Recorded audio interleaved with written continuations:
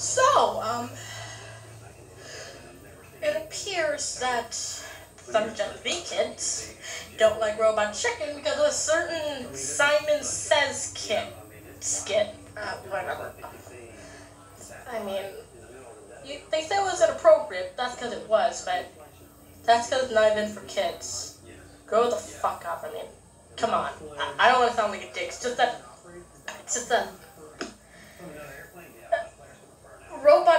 Robot it's meant to be dark and twisted and random, and that's what makes it funny. Well, at least to me, that's what makes it funny.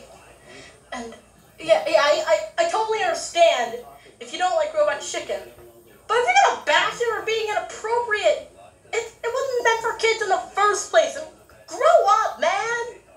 Come on, come on. They literally had a skit about the tooth fairy, which had three endings. One ended with a dad a mom who got and was getting killed by the tooth fairy. The second ending included the dad killing the mom and the tooth fairy, and the third ending invented the dad killing the mom and the tooth fairy, and then get busted by the police, which ends with Dorcas kid, Dorcas kid, Dorcas kid. It's the whole damn point, people. I mean, I don't want to sound like a opinion bashing dick, but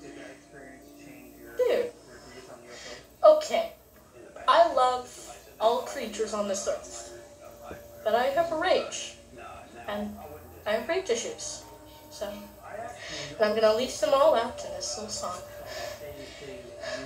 It's not for all of you, just for those dumbass kids who who thought Robot Chicken was was being a dick.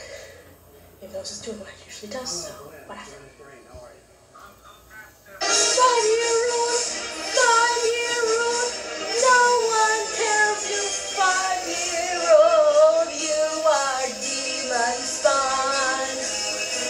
What drugs are you on? Robots just been hacking to the stuff for years. And don't bother me with your baby tears. If you keep being rash, bitch pudding will keep your ass. And when your ass is sore, you bet you won't be an asshole.